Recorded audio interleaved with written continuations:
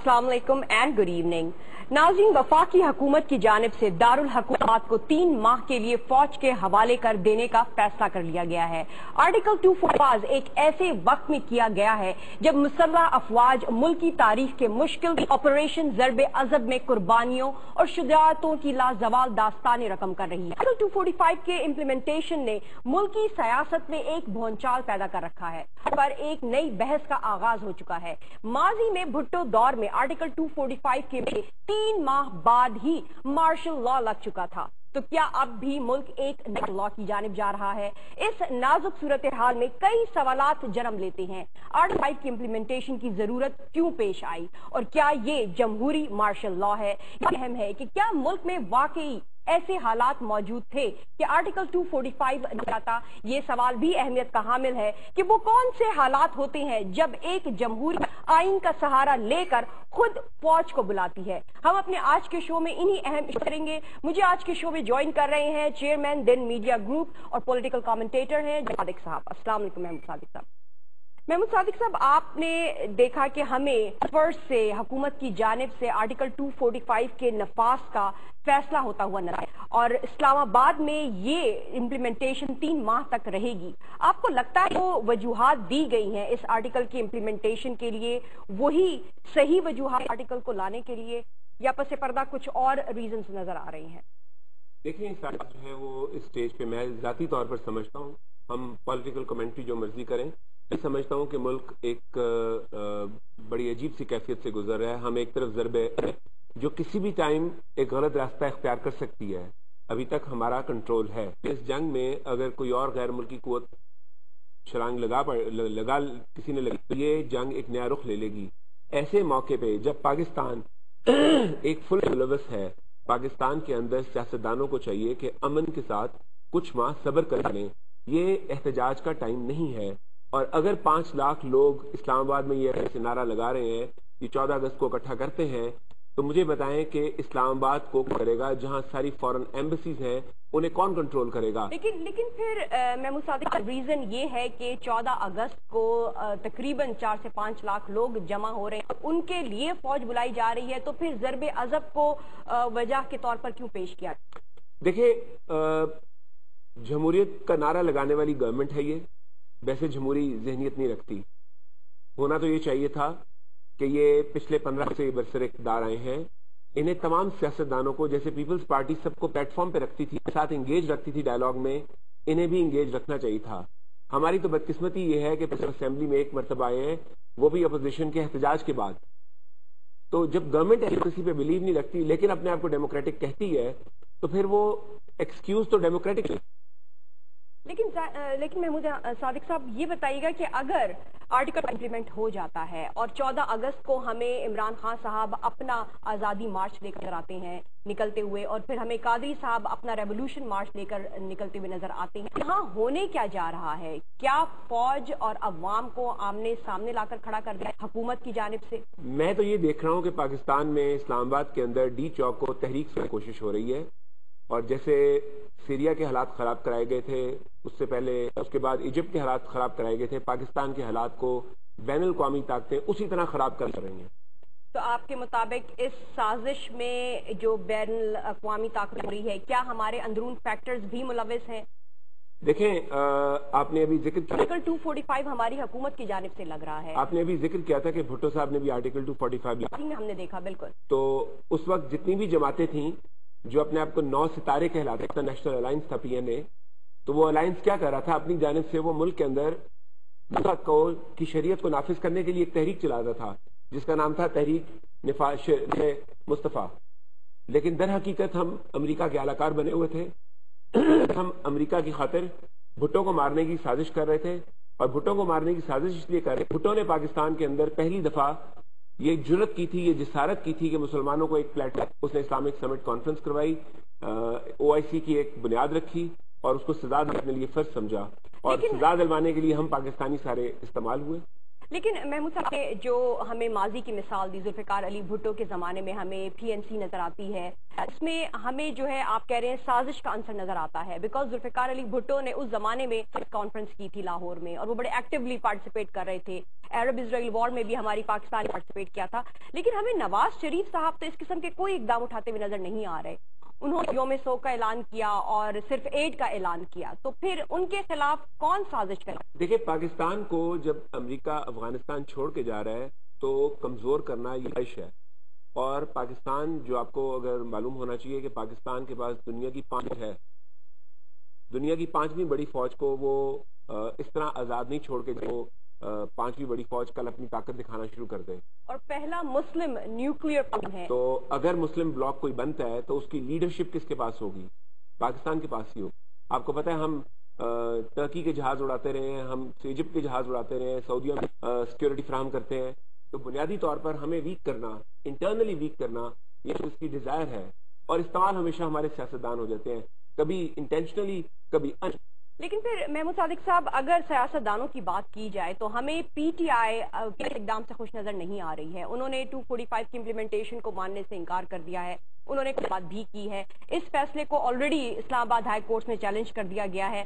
تو آپ کے خیال ٹو فورٹی فائیو آتا ہے اور اسلام آباد میں فوج آتی ہے اور اگست فورٹینتھ کو جب مارچز وہاں پہنچتے ہیں تو کیا وہاں پہ ہمیں ماڈل ٹاؤن کے قسم کے انسیڈنٹ کے کیا وہاں پہ گولی چلنے کا خطرہ ہے؟ پاکستان کا میڈیا اس سنجیدگی کو نہیں سمجھ رہا۔ اس سنجیدگی سے ہم بہت دور بیٹھے ہیں۔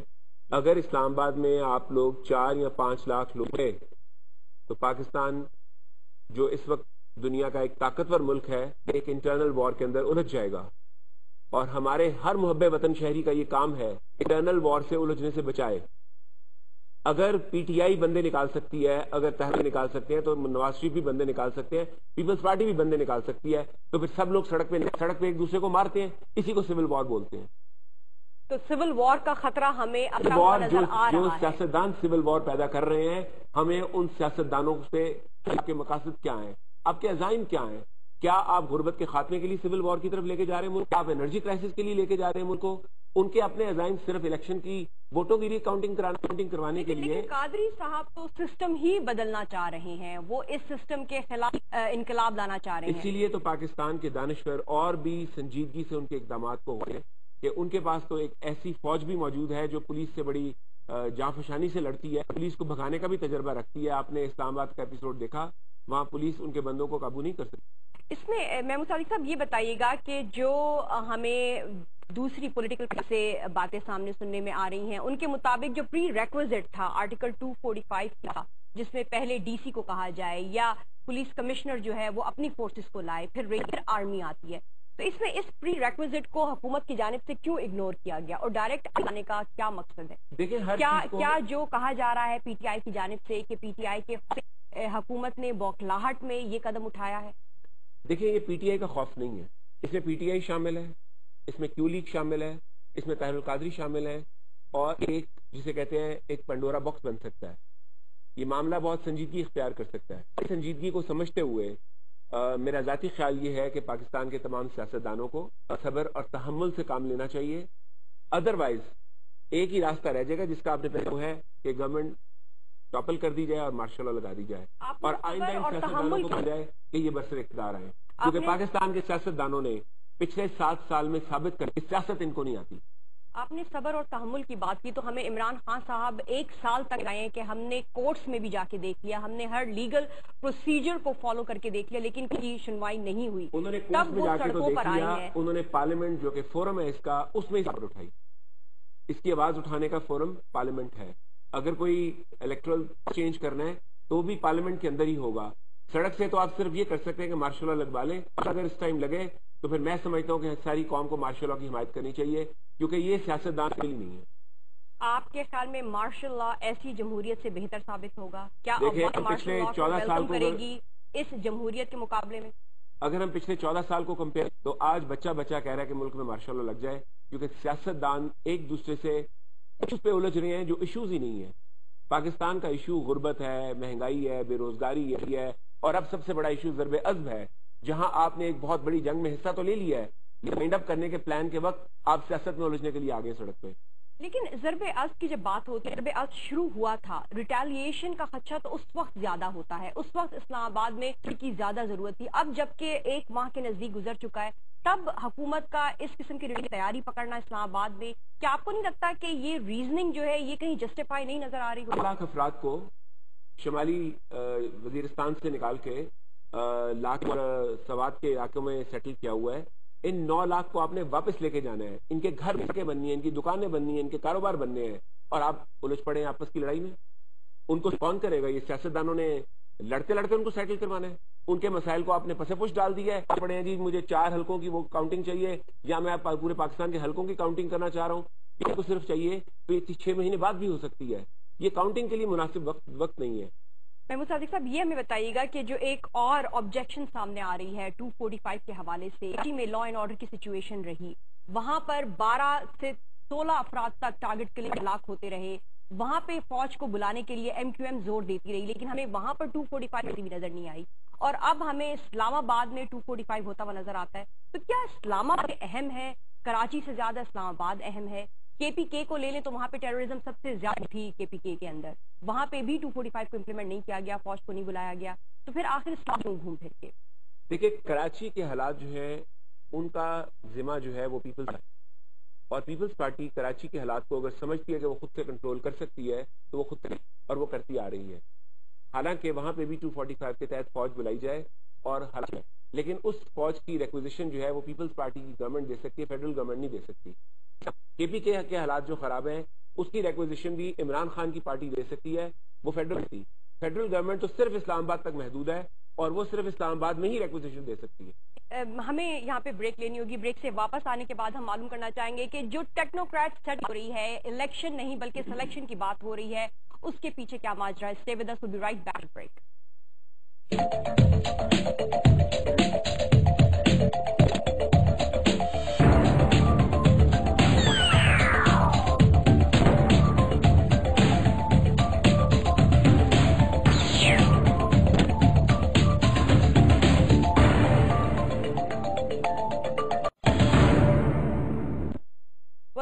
ناظرین، مسلم لیگ نون کی حکومت اقدام کو کیا ہم جمہوری مارشل لا سمجھ سکتے ہیں؟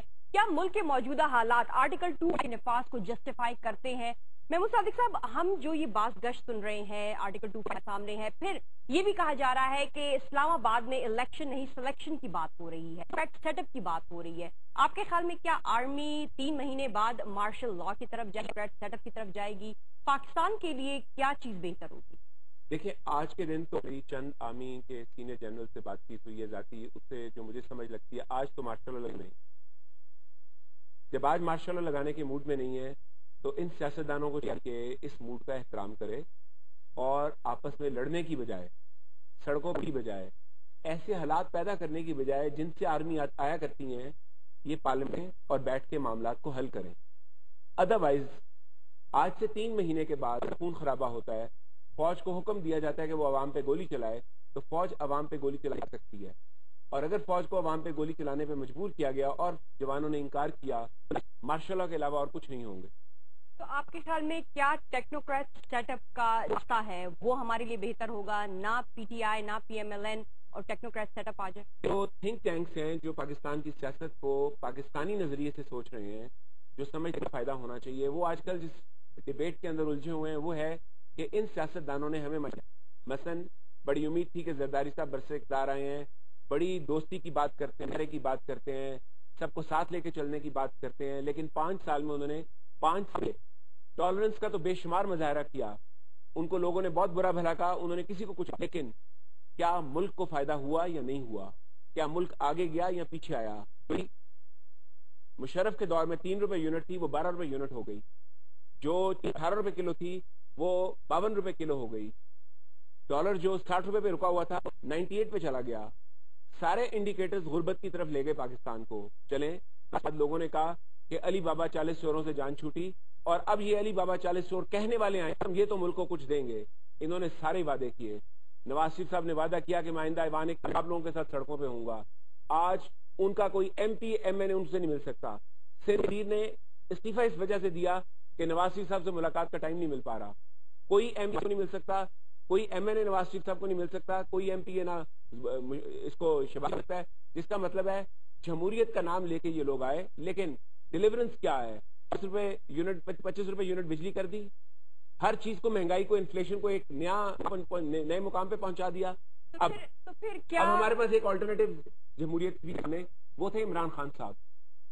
عمران خان صاحب کو ساری دنیا نے ووٹ کیا بڑے لوگوں نے ووٹ کیا لیکن عمران نے الیکشن جیتنے کے بعد الیکشن کے نتائج قبول کر لیے۔ قبول کرنے کے بعد کہا کہ ہم کے پی کے میں ایک ایگزمپلری گورنمنٹ بنائیں گے جمہوریت کو اس کے قدم مضبوط کرنا چاہتے تھے چاہتے تھے نا؟ اور ساتھ ایک۔ نعرہ لگایا انہوں نے کہ ہم کے پی کے میں بھی گورنمنٹ بنائیں گے۔ ہم بلدیات کے الیکشن کروا کے پاور نیچے تک ٹرانسفر کر دیں گے۔ آج سال کے اندر وہ پاور ٹرانسفر نہیں کر سکے۔ اور نوے دنوں میں کہا تھا۔ نوے دنوں میں کہا تھا آج سوا سال میں اور اپنے کے پی کے کی تمام طرف برائیوں کے باوجود ان میں اتنی ڈھٹائی ہے کہ باقی لوگوں پر تنق- تنقید کر رہے ہیں۔ ملکی حالات کا یہ عالم ہے کہ کراچی سے خون خرابہ ختم۔ کے پی کے اندر کے پی کے کے اندر جرم اور سزا اسی لیول پہ جا رہے ہیں جو پہلے تھے۔ اور جب تو عوام کون سی سیاست دان سے امید لگائے؟ لیکن کیا آپ کو نہیں لگتا کہ جو گیم میں عمران خان صاحب ہیں اور پی ٹی آئی کی پرفارمنس ہے ان کے مطابق انہوں نے اپنی پولیس کو پولیس کو جو ہے کرپشن فری کر دیا ہے۔ وہاں پہ وہ ہیلتھ اور ایجوکیشن میں جو ہے رہی ہیں۔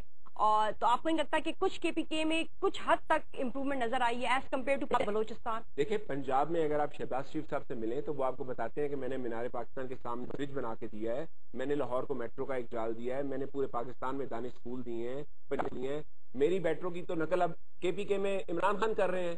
تو وہ اپنی اگر آپ کو سنائیں کہ انہوں نے کیا کچھ کیا ہے تو عمران تو لگتا ہے کچھ کیا ہی نہیں ہے۔ کیا آپ سمجھتی ہیں کسی نے کچھ؟ کیا عوام کی زندگی میں تھوڑی سی بھی خوشی آئی ہے؟ کیا عوام تھوڑا سا کمفرٹیبل فیل کر محمود صادق صاحب پھر کیا 245 کی امپلیمنٹیشن اس بات کا ثبوت ہے کہ نواز گورنمنٹ فیل ہو چکی ہے؟ دیکھیں یہ اس بات کا ثبوت ہے کہ سیاست فیل ہو چکی ہے۔ تمام 245 کا نفاذ- سیاستدانوں کا فیلئر 245 میں ہے. جب تمام سیاستدان فیل ہو گئے ایک دوسرے کے ساتھ ٹیبل پہ بیٹھ کے بات نہ کرتے۔ جب سکسٹی سیون ایئرز میں آدھے سے زیادہ وقت مارشل میں گزارنے کے بعد، مارشل کہنے کے بعد انہیں جمہوریت کا موقع ملا اور چھٹے سال میں یہ ایک دوسرے کے ساتھ نبرد ازما ہو گئے سڑک یہ اس بات کا ثبوت ہے کہ سیاست پاکستان میں فیل ہو چکی ہے۔ We need form of government سیاست دانوں کی ضرورت نہیں رہ گئی۔ اگر 245 کے نتیجے میں تو یہ ایک بہت بڑا ثبوت ہوگا کہ پاکستان کو اس قسم کی جمہوریت۔ اگر خون خرابہ آپ نے کہا کہ ہوتا ہے تو اس کا مطلب ہے کہ فوج گولی ہے۔ فوج اگر گولی چلاتی ہے تو عمران خان صاحب کا کہنا ہے کہ سب سے پہلے وہ اپنے سینے پر گولی آپ کو کیا لگتا ہے؟ ہمیں چودہ اگست کو پاکستان میں ایک بری طرح کی سول وار ہوتی ہوئی نظر آئے گی۔ یا پہلے کسی قسم کا کوئی ٹیکنوکریٹ سیٹ اپ آ جائے گا یا اگلے تین ماہ کے بعد مارشل لا جو ہے وہ ہوتا ہوا نظر آئے گا۔ دیکھیں میں دعا کروں گا اور امید کروں گا کہ سینس ول پریویل میری امید ہوگی اور دعا ہوگی کہ عمران خان جو اپنے آپ کو تازہ تازہ سیاست میں لائیں، اپنے آپ کو ایک منجے ہوئے سیاستدان سمجھتے ہیں، وہ سینس پریویل کروائیں گے۔ میں امید کرتا ہوں کہ جو ان کے ساتھ مل کے انہیں اس طرف لگا رہے ہیں کہ آؤ سڑک پہ نکل کے اس ملک کا بیڑا غرق کریں وہ اس گی لیکن اگر سینس نے پریویل نہ کیا تو مارشاء اللہ کے علاوہ آپ کا لیکن آپ نے کہا سینس پریویل کرنے کی بات تو نواز شریف صاحب جن کو کہ ایک منجان کہا جا سکتا ہے تھرڈ ٹائم ہے ان کہا کا جا سکتا ہے۔ تو وہ آخر 245 کی امپلیمنٹ پیچھے کیوں پڑے ہوئے ہیں؟ کیا ان کو نہیں لگتا کہ وہ خود اپنے پاؤں پر کلہاڑی مار رہے ہیں؟ دیکھیں وہ ایک بند گلی میں جا پہنچے ان کی تو بات نہ کریں آپ۔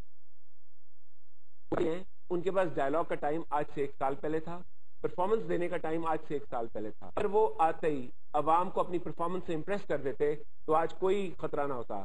اسی کے نیچے لگنے کی بجائے اور اپنے سمدھی سے ملک کو لٹوانے کی بجائے، اپنے سمدھی کے ذریعے بجلی کے بل تب بھی لوگوں کو انرجی کرائسس میں رکھ کے لوگوں کو مشکلات سے نکال، نہ نکال کے اگر وہ بند گلی میں نہ پہنچاتے، تو آج آپ کہہ سکتی تھیں کہ وہ ایک منجے ہوئے سیاستدان ہے وہ ثبوت دے دیا کہ وہ منجے ہوئے سیاستدان نہیں ہے آج تو باقیوں نے ثبوت دینا ہے کہ وہ بھی سیاستدان ہیں کہ نہیں؟ کہ اگر باقیوں نے بھی ثبوت دیا وہ سیاستدان نہیں ہے تو یہ تنگ گلی میں سارے سیاستدان چلے جائیں گے اور بعد عوام ان سیاستدانوں سے اپنا چھٹکارے کے علاوہ کوئی راستہ نہیں سمجھے گی۔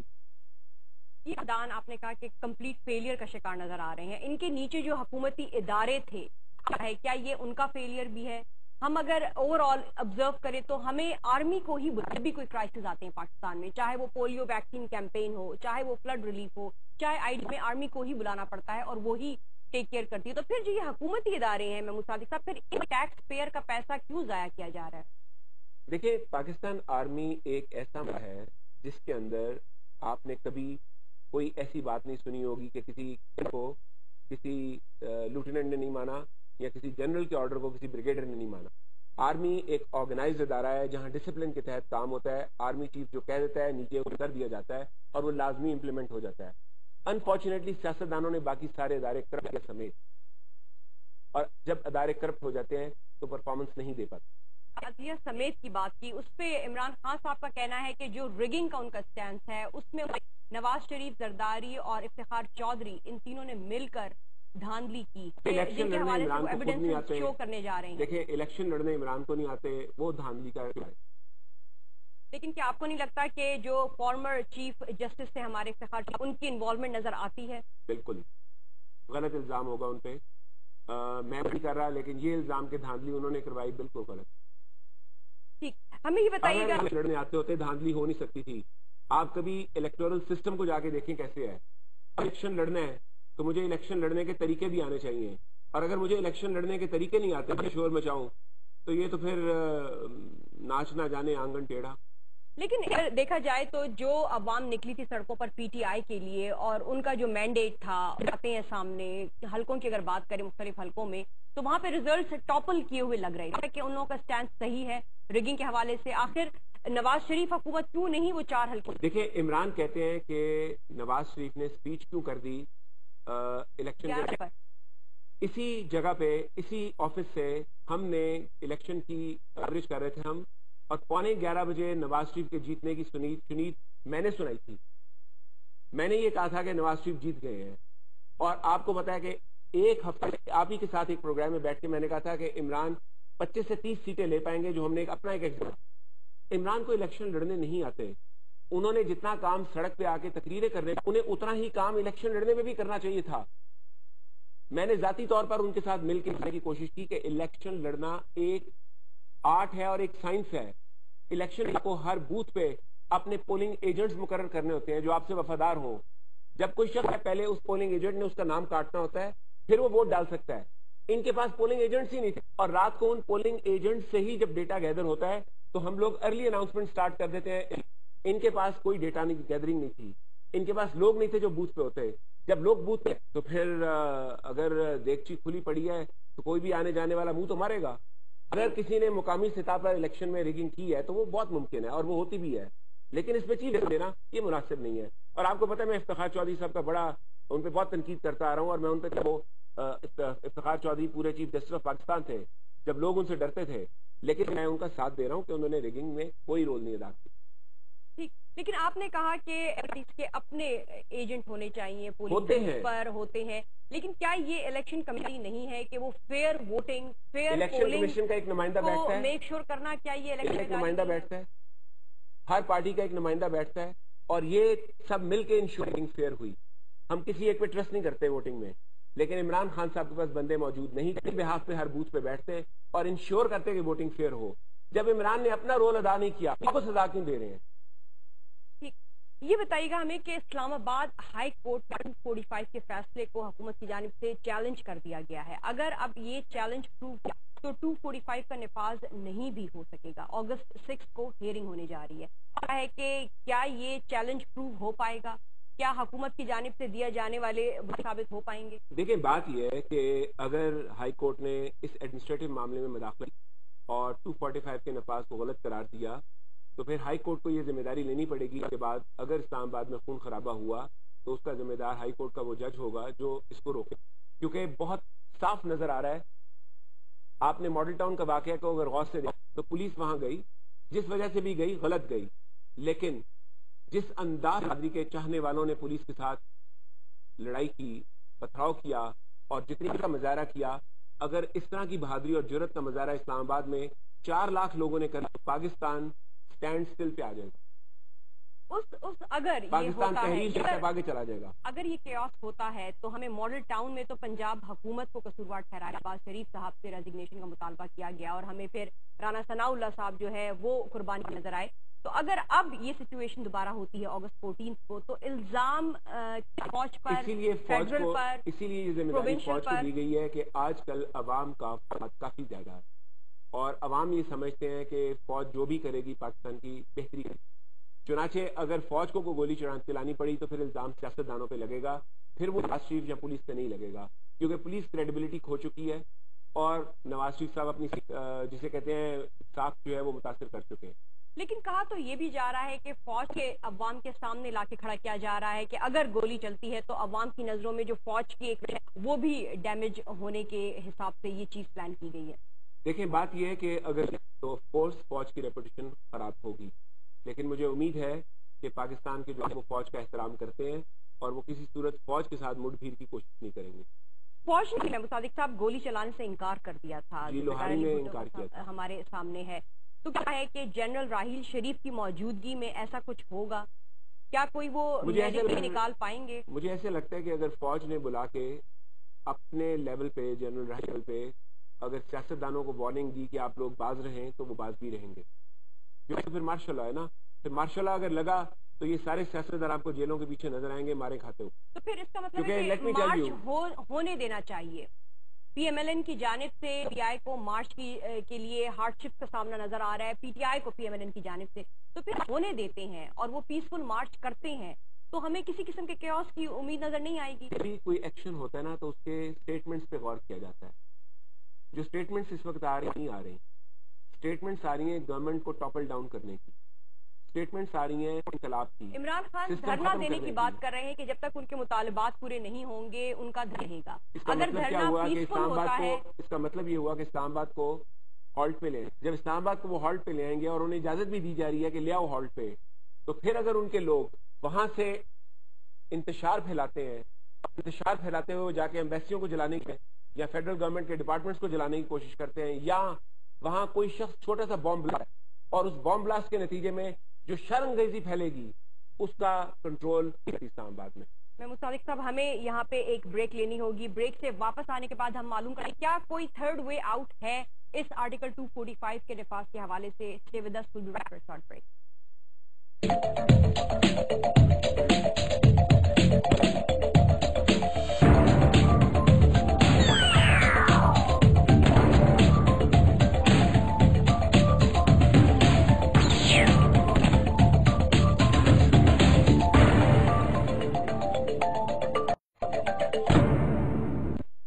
ویلکم بیک ناظرین ہم بات کر رہے ہیں آرٹیکل 245 کے حوالے سے۔ بھی آرٹیکل 245 کا نفاذ ہوا اور اس کے تین ماہ بعد مارشل لا بھی لگتا ہوا نظر آیا۔ اب پاکستان میں ایسا ہی ہونے جا رہا ہے۔ اسلام آباد سے کہیں زیادہ خراب حالات کراچی بلوچی کے ہیں۔ اسلام آباد میں ہی آرٹیکل 245 کا نفاذ ہوا کیوں؟ میں مصادق صاحب، ہم پہلے کہیں گے کہ اس آرٹیکل 245 کے حوالے سے طاہر القادری صاحب کا کیا کہنا ہے اور عمران خان صاحب۔ Let's have a look at that and then we would like to get your article دو سو پینتالیس کیوں نہیں لگایا؟ وہ فوج کے سپورٹ کیوں نہیں کیا؟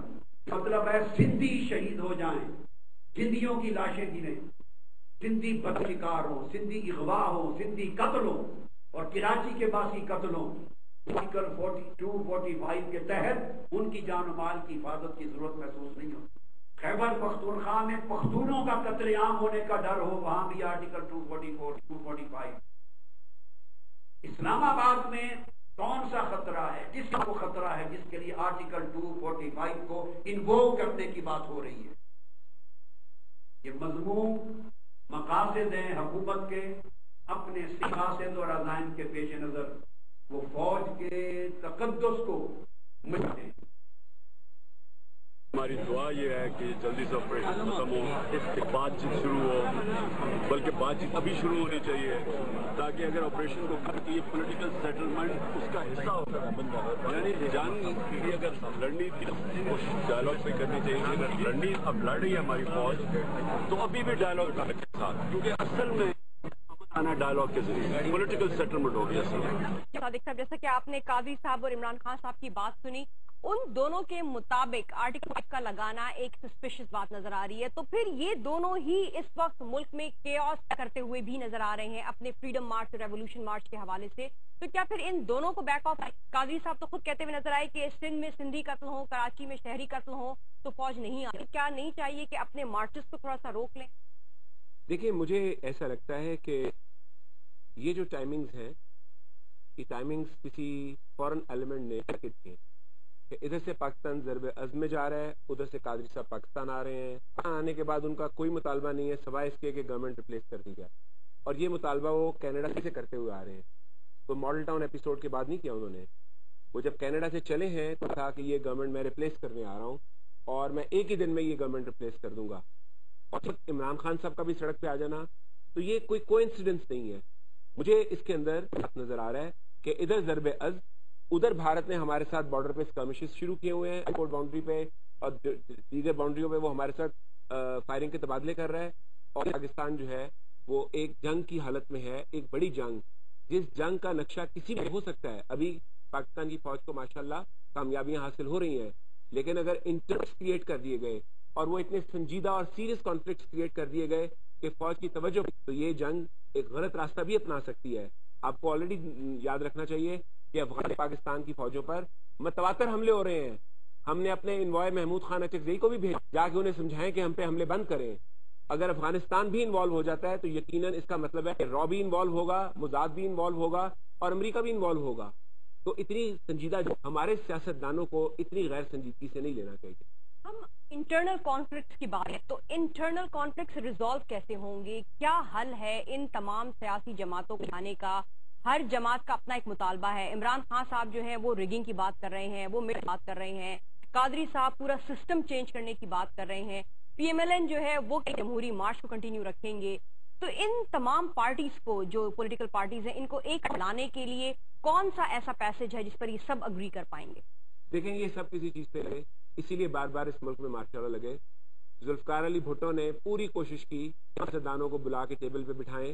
اور ان سے مذاکرات کر لیں۔ یہاں تک وہ چلے گئے کہ میں الیکشن دوبارہ لیکن پاکستان کے سیاستدان باز نہ آئے اور پھر مارشاء اللہ لگا اور گیارہ سال تک مارشاء اللہ تو پھر محمود صادق صاحب، آپ نے ذکر کیا ذوالفقار علی بھٹو کا، تو ہم اگر پیپلز پارٹی کو دیکھیں پانچ سال دیکھیں اور ہم اب اگر نواز شریف حکومت کا پہلا سال ہی دیکھیں، تو اس وقت ہمیں ملک میں سول وار جیسی سچویشن نظر آ رہی ہے۔ تو پھر یہ دیکھتے ہوئے کیا ہم یہ کہیں گے کہ پیپلز پارٹی نے بیٹر ان کی مفاہمت کی سیاست جو ہے وہ بہتر رہی پانچ سال تک؟ دیکھیں پیپلز پارٹی نے بھی فارم نہیں کیا۔ ان کی گورنمنٹ بننے کے چند ماہ کے بعد نواز شریف صاحب نے ایک لانگ مارچ کر دیا۔ وہ سب کو اپنے ساتھ لے کے چلتے ہوئے نظر آئے یاد کیجیے زرداری صاحب نے جیسے ہی ڈوگر صاحب نے شہباز شریف صاحب کی گورنمنٹ برطرف کی جیسے ہی ایک لانگ مارچ اسلام آباد کر دیا۔ یہی نواز شریف صاحب تھے جو لانگ مارچ لے کے اسلام آباد چلے گئے تھے کہ اب دھرنا دیں گے اور حکومت کو گرا کے چھوڑیں گے۔ اور شہباز شریف صاحب نظم پڑھ پڑھ کے سنا ایسے دستور کو میں نہیں مانتا میں نہیں جانتا۔ تو پاکستان کے سیاستدانوں نے کبھی سبق نہیں سیکھا اور کوئی سبق نہیں سیکھا۔ زرداری صاحب ہمیں آرٹیکل 245 کی حد تک نہیں آئے۔ آپ کو نہیں لگتا کہ نواز شریف صاحب نے جلد بازی کی ہے؟ اگست 14 سے گھبرے کچھ زرداری صاحب کو زرداری صاحب کو یہ والا چیلنج جو طاہر القادری نے آکے پیش کیا یہ کبھی پیش طاہر القادری اس وقت پاکستان کے اندر آ کے گورنمنٹ کو ٹاپل کرنے رہے آج طاہر القادری گورنمنٹ ٹاپل کرنے کی بات کر رہے ہیں۔ اور اسلام آباد کی پانچ یہ گورنمنٹ جان چکی ہے کہ پنجاب پولیس انہیں کنٹرول نہیں کر سکی۔ اسلام آباد کی اختیارے کو ویلکم کرنے والے ہمیں محمود صادق صاحب قادری صاحب پانچ دن تک آ کر ڈی چوک میں دھنڈ رائے وہ پانچ دن تک بیٹھے رہے۔ پھر ہمیں کمر زمان قائرہ صاحب کی ٹیم جا کر ان سے مفاہمت کر اور انہوں نے ان کو ریزالو کیا اٹھایا وہاں سے۔ تو آپ کو نہیں لگتا ہے کہ نواز شریف صاحب بھی اگر کچھ کھاتے تو یہ جماعتیں یہاں تک نہ پہنچتی؟ دیکھیں، تب بھی میں آپ کو ایک بات بتا دوں سیکورٹی ایجنسیز کے کچھ لوگوں سے تب بھی رابطے چل رہے تھے، اور وہ ہر لمحہ اس چیز کے لیے چوکی لگی ہوئی تھی، پولیس بھی لگی ہوئی تھی، رینجرز بھی لگی تھی، کہ اگر کوئی بدمزگی ہوئی تو پھر جائے گا۔ آج اس وقت جلوس تھا تیس چالیس ہزار کا جو دھرنا تھا۔ آج لاکھ کی بات ہو رہی ہے۔ تب دھرنے میں طاہر القادری اکیلے تھے۔ آج دھرنے میں ان کے ساتھ عمران ہونے کی چانسز ہیں۔ تو یہ سچویشن جو ہے، یہ کافی اس کے مقابلے میں مختلف، اس میں حالات ایجپٹ کے تحریر سکوئر والے بن سکتے ہیں۔ اور تحریر سکوئر میں امن رہا تھا اور بلا خون خرابہ ہوا۔ یہاں پہلے دنوں میں خون خرابہ ہو جائے گا۔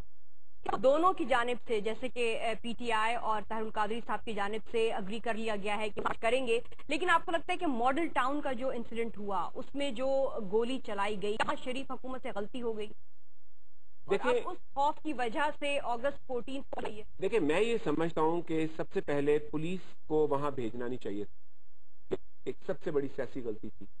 جس نے یہ غلطی کی اس کو اکاؤنٹیبل ہونا چاہیے۔ تو طاہر القادری کے بندوں کو پولیس کا احترام کرنا چاہیے تھا اور پولیس پہ اٹیک نہیں کرنا چاہیے۔ چنانچہ طاہر القادری بھی اتنا ہی قصوروار ہے جتنی پروونشل گورنمنٹ قصوروار ہے۔ تو میرا جو کیا ہے کہ یہ سیاست دان سیاست دان ہی نہیں ہے۔ انہیں ایک دوسرے سے بات کرنے کی ہے یہ ایک دوسرے کو ٹالریٹ نہیں کر سکتے، ایک دوسرے کو اکوموڈیٹ نہیں کر سکتے، ایک دوسرے سے نیگوشیٹ محمود صادق صاحب پیپلز پارٹی کے مطابق فوج کو سیاست میں نہ ڈالے ہم خورشید شاہ صاحب کی بات بھی سننا چاہیں گے کہ وہ کیا کہہ رہے ہیں پیپلز پارٹی کا کیا موقف ہے and then we like leader of opposition ہوتے تھے، ہر بات پہ تنقید کرتے تھے۔ اور کہی تھی کہ میں اسلام آباد کو بالکل پرون سٹی بنا دوں گا۔ وہ اس کی بات مجھے ان کو واپس لینا چاہیے اور واپس لینا پڑے گا۔ مسلم لیگ نون جو ہے، وہ جو ڈائلاگ ہوتا ہے پروسیس ہوتا ہے ڈالی پارٹیوں کے ساتھ ایک میٹنگز ہوتی ہیں یا انٹرگریشنز ہوتی ہیں، وہ ان میں عادت نہیں ہے۔ پانی جب سر پہ چڑھا ان کو کوئی بات یاد آتی ہے۔ جی میں صادق صاحب کیا آپ خورشید شاہ صاحب سے اگری کریں گے؟ پی ایم ایل این کی نواز شریف حکومت میں ڈائلاگ کی عادت نہیں ہے۔ جب پانی سر سے گزر جائے یہ ان کو بات کرنے کا خیال آتا ہے۔ یہ تو بات میں نے آپ سے پہلے ہی کہی ہے کہ پی ایم ایل این جو ہے وہ بند ہو گئی ہے اور یہ ان کی پرانی عادت ہے۔ یہ اپنے مقابلے میں کسی کو کچھ نہیں سمجھتے۔ بادشاہ فطرت ہے اور شاہی فطرت کا تقاضا یہ ہوتا ہے کہ جو بھی مخالفت کرے اس کو مروا دو۔ تو آگے جمہوری اس طرح کا دور آ گیا جس میں مروانا آسان کام نہیں ہوتا تو اب وہ بند گلی میں بند ہو گیا۔ ماڈل ٹاؤن میں گولی چلتی ہوئی نظر آئی تھی جس سوچ کا آپ نے ذکر کیا۔ دیکھیں ماڈل ٹاؤن کی گولی میں قصور پولیس کا ہے اتنا ہی قصور طاہر القادری اور ان کے لوگوں کا بھی ہے۔ یہ آپ کو یاد اگر پولیس مجھے اریسٹ کرنے یہاں آئے یہ حالت سے انصاف لینا ہے لیکن فوری طور پر گرفتاری دینا یہ مجھ پہ فرض ہے قانون لائف وہاں آپ کو پتا ہے پولیس اگر گرفتار کرنے آئے آبرٹ کے پروفیسر کو پولیس گرفتار کرنے گئی تھا لیکن گرفتاری اس نے دی۔ دو منٹ بعد چھوڑ دیا گیا لیکن گرفتاری دے۔ یہ بات کہ پولیس جی یو ہیو ٹو یہاں پولیس کے اوپر اس بری طرح پتھراؤ کیا گیا۔ یہ ان کی طرف سے بھی قصور ہے۔ بھیجنے والے بھی گناہ گار تھے انہیں بھی سزا ملنی چاہیے۔ ہونی چاہیے۔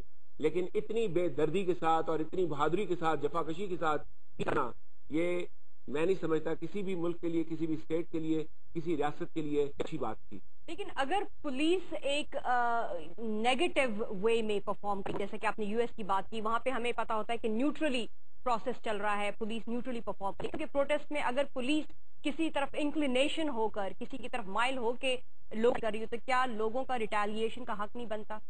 دیکھیں پاکستان کی پولیس کی ایک خوبی ہے یہ کسی کا ساتھ جو اسے آرڈر ملتا ہے اسے اوبے کرتی ہے۔ آرڈر دینے والے کو آپ ریپلیس کریں۔ آرڈر دینے والا اس کا آرڈر اوبے ہوگا۔ وہ اگر رانا صاحب تھے، ان کا آرڈر اوبے ہوگا۔ جنہوں نے آرڈر دیا، پولیس کا اگر آپ مرائل ڈاؤن کریں گے، تو جو کراچی کے حالات ہیں، وہی پاکستان کے پورے ملک کے حالات ہو جائیں گے۔ پولیس کو ڈی مورلائز نہ کریں۔ وہ اپنی ڈیوٹی کرنے گئے تھے، انہیں کہا گیا تھا کہ آپ نے جانا ہے اور یہاں سے ان کی ڈیوٹی بیریئر ہٹانا تھی، لیکن وہاں ان کو پتھراؤ کا سامنا کرنا پڑا۔ یہ ان کی ڈیوٹی میں شامل نہیں، سامنا کرتے ٹھیک۔ محمود صادق صاحب ہم ہمارے پروگرام کا ٹائم بھی ختم ہو گیا۔ چلتے چلتے یہ معلوم کرنا چاہوں گی کہ ایک کنکلوزولی آپ کیا کہیں گے؟ ٹو فورٹی فائیو کی امپلیمنٹ کیا کانسیکوینسز ہو سکتے ہیں؟